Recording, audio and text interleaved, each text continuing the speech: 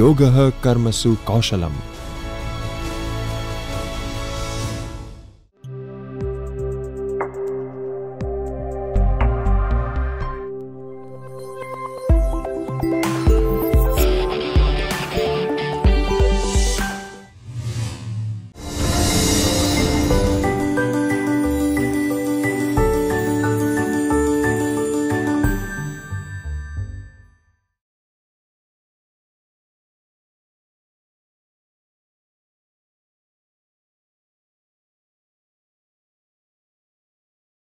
Now, uh, let us focus on the available tools for citation style. So, there are several other tools that can help the researchers, that can help writers to use several styles, citation styles in their writing. So, let us find out something about them so that you know the job of a writer can become an easy one. So, some of them are Zotero, Mendeley, and other web tools. So, and through these tools, the researcher can search online about the books, research articles, and other data. And at the same time, he or she can create citations. The researchers can free himself or herself from the burden of remembering the minute details of various reference uh, styles. Mendeley is a software that can be downloaded from its official website and can be used both online and offline. So th that you know this is a very interesting software that can help the researcher to you know uh, perform his duties quite efficiently. The website also provides a login facility that synchronizes the data with the software. So once you once you log into the website it it, it provides you know a kind of you know storage facility also that you don't have to worry about your data that it would be lost some sometimes or you know etc etc so it also provides the plugin facility the web browser so that you know that catches uh, automatically the source details in the website or the things that you search online in the event of the details regarding the book is not traceable online the users can also you know prepare it manually. So this software actually traces the details of the particular book online automatically. And even if it if it is not available online then you know the uh, a researcher can do it manually. The data is stored online and can be accessed anytime and anywhere you know with the with with the login facilities. So it it provides an excellent facility to the researcher to the writer you know uh, in preparation of uh, various citation styles. So the software also allows the users to both import and export the data so as to be included for the future reference. The software saves the reader from the burden of laborious work that is required in the process of research and documentation. Similar is the software called Zotero. You know, it provides similar platform, you know, and uh, the researchers can utilize this software as well.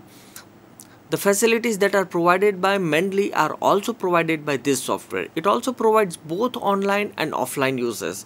It provides just like Mendeley online plugin facility to be combined with browser. So plugin facility is very important for, for you know particularly in browser because it automatically captures the data that the researcher is searching about for example a book or an article and then automatically a citation is created and then the user can automatically save it in his own profile or her own profile and then can later on be used for bibliographic purpose.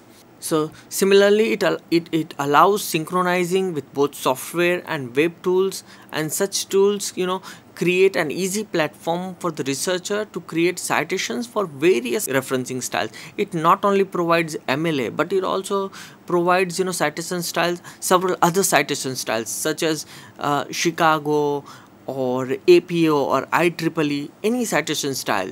So this is how you know these softwares can be very very useful and the researchers can use easily find them online and that too free of cost. Now MS Word.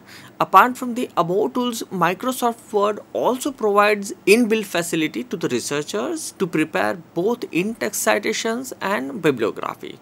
This is the case, you know, like uh, in uh, the the Microsoft Word also provides in-text, you know, and bibliographic uh, facility that is uh, that that is inbuilt in the software itself So in the reference section of Microsoft Word, one can easily trace the options available for the researchers. So in the, in the Microsoft Word, if you notice, there is there is a, a reference section, and there you have to choose uh, a citation style. You have to choose in-text citations and everything you know like so the way but then the only thing is that you have to prepare it on i mean on your own. You it doesn't provide online synchronization. You have to add the details manually. And then you know the citation and then as per the choice of your citation style uh, the software the microsoft word actually creates the citation for you both in text and the final bibliography. Now certain web tools websites such as citationmachine.net or bibme.org you know these are the certain uh, websites that also provide online facility of both automatic citations and manual citations. It also offers login features and synchronization across all the devices. So further just like zotero and mendeley they pro- they also provide features of online search of various documents and automatic collection of data for the purpose of authentic referencing. Having seen all the tools now, we gather that referencing once a big hurdle has become a child's play because these softwares and these websites they make a job of a writer quite easy. And further, it, it is also easy for the research to convert the data into multiple citation styles. Once you've created one citation, you know, using that data, you can again, you know, then uh, change into any other citation style that you want to create. Now, what we need is it requires some practice and anyone can master the tools. So to sum up, we can say that we, you know, there are several points such as various citation styles, their uses. It is important for us to understand uh, the value of referencing systems. You know, few years back, plagiarism was not hype phenomenon the way it is these days. We have seen online and offline tools for reference system and the same applies to plagiarism as well. Uh, there are multiple online and offline tools that can easily detect the content that is either copied or paraphrased. In this modern era, one needs to be cautious about unethical practices as there are stricter laws that can put the researcher in a big big trouble hence a researcher needs to be wary of unethical practices and careless attitude of negligence it is our prime duty to acknowledge the idea to its originator and give credit through suitable reference system. I would like to thank uh, Dr. Rajesh Barwad for scholarly discussion on something which is very much essential for scholarship and that is citation style. He has talked on MLA citation style. MLA is a very popular name to us. We all know that the citation style developed by Modern Language Association of USA is known to us as MLA style. Earlier this ML style was uh, very limited. It has several additions. It has it has developed through ages and the present style which we are using is the 8th edition of MLA. So before the 8th edition there were 7 different citation styles or editions developed by MLA. MLA has come out with the latest in fashion latest what is to be practiced by all researchers and research scholars and the people who would like to go for scholarly qualitative publications. I am thankful to him that he has really make it very interesting. Otherwise what happens friends, sometimes when you discuss on some technical kind of thing, it becomes boring. But I am really very thankful to him that he tried to give very familiar examples he tried to discuss in such a way that we can easily understand that what he is talking about, which aspects he is talking about and how to follow them. So uh, I think this will be very useful to all of us. Uh, Rajeshji, if I ask you, which are the prominent two two three things which are which our our participants should remember when they are following MLA style or any citation style uh, as far as MLA is concerned I would like to you know give importance to two things. And they are the first factor is in-text citation. Very true. Right? Because you know if you are very clear about in-text citations your bibliography will be automatically better. Very true. Because you know in in-text citation has direct connection to the you know bibliography. For Very example true. if there are more than one writers how to cite them in text citations? If if it is an if it is a text without page number how to cite them or for example if it is a source taken from internet how to cite them in in-text citation so if you are clear about in-text citations then the later on you know for example making of in bibliography and all things become will be very easy. very very easy Very so true. i that way i take it Yes. So, friends, I would like to suggest you something based on what Sir said is. Sir has already talked about many tools which are available for citations. We can use Word, that is MS Office Word itself, to make our citations very easy.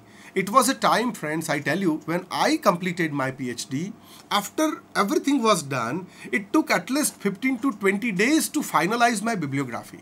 Nowadays, if you use some tools like uh, the citation style, style tool available in the MS Office itself, integrated in MS Office itself, or if you use Jotero, or you use Mendeley, or use any any such kind of tool, then just in clicks your work cited list is ready.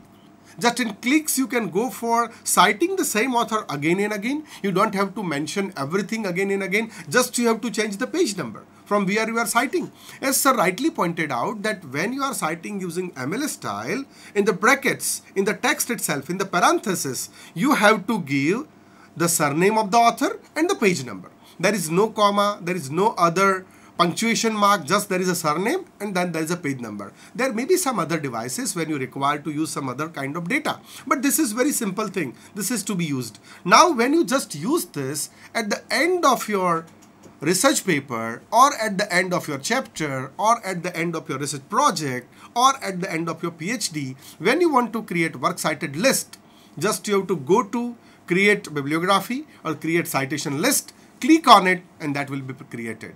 Another benefit of using such tools like Word or Jotero or Mendeley or any such is many a time what happens Rajesh ji is some journals they ask for particular style. Now it is not possible for all of us to master all the styles. And and really we don't need to spend a lot of time in learning all the citation styles. It is necessary that we should learn at least one citation style. And then when you practice it and use tools, what you can do is you can very easily convert using the options available in Word and and such other citation tools. You can change it from MLA to APA. You can change it from APA to any other style which is required. So that will come very easy. Would you like to okay add something? i i would like to add to here Yes. that you know i i personally find that learning about many citation styles is in fact not that difficult the reason behind is this that it is a game of punctuation marks Very true. because you know, for example, uh, the difference between APA and MLA, if, if you just look into this, you know, this in-text citation, the difference is just a matter in the form of comma. If you remove, if you add comma, it becomes APA. If you remove comma, it becomes uh, um, uh, MLA. MLA. In particular, the in-text citation, the last name of the writer and the page number. So in APA, it is the comma that separates the last name and the page number. But in MLA, the comma disappears. So there are many such interesting things which comes in between when you look at different citation styles. Sir, uh, can you tell us that there is only uh, there are only one or two citation styles, or there are more than that? There are many actually. There are many uh, MLA, APA, Chicago. Then uh, one of one by Oxford also, uh, MHRM. Uh, True. So there are so there are plenty of uh, citation Plenty, in styles. fact. Yes, yes, yes. Very true. Many. So friends, there is not. It is not so that there is only one. And then why you chose to talk on MLA? Uh, the reason behind choosing MLA, uh, wha- that you know, this is one of my favorites because it is very simple. Uh, apart from MLA, one more interesting uh, citation style, particularly for hu- you know the social Humanities. sciences and humanities, is the Chicago style.